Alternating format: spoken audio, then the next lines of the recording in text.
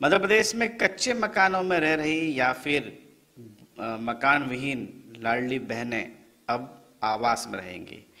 चार लाख पचहत्तर हज़ार लाडली बहनों को आवास देने की महत्वाकांक्षी योजना मध्य प्रदेश में शुरू हो चुकी है, जो कि पाँच अक्टूबर तक नॉमिनेशन भरने का काम जारी रहेगा। अगर आप इसी श्रेणी की मध्य प्रदेश की लाडली बहनें हैं तो आप बगैर देर किए अपनी पंचायत में जाइए, अपने नगरीय निकाय में जाइए और वहाँ से आवेदन लेकर आइए और आवेदन को फिल करके भरने के बाद आप तुरंत ही वहाँ पर जमा कर दीजिए।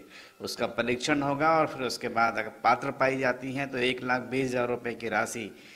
लाडली बहना आवास योजना में आपके खातों में तीन किस्तों में आएगी और ये तीन किस्तें पहली किस्त शुरू होने के पहले होगी, दूसरी किस्त आपका निर्माण देखने के बाद और तीसरी अंतिम किस्त निर्माण पूरा होने के बाद आपको दी जाएगी।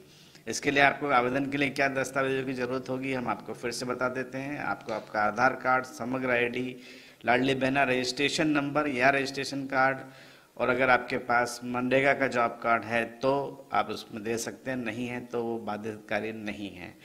इन चारों दस्तावेजों के आधार पर आप तुरंत आवेदन कीजिए।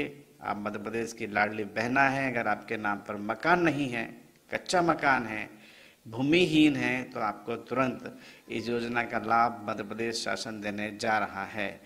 अब आपके मन में सवाल होगा कि अगर आपके पास ज़मीन नहीं है तो आप कहाँ बनाएँगे? तो उसके लिए ग्रामीण क्षेत्रों में सरकार आपको ज़मीन आवंटित करेगी, पट्टा देगी, स्थायी पट्टा देगी। और शहरी क्षेत्र में है तो अतिक्रमण मुक्त ज़मीन जो है या सरकारी ज़मीन है, वहाँ पर मल्टी बनाकर, बहुमंजिला इमारतें बनाकर आपको आवास का आवंटन किया जाएगा। तो देर न करिए, तुरंत ही अगर आप पात्र हैं तो अपना आवेदन तुरंत कीजिए।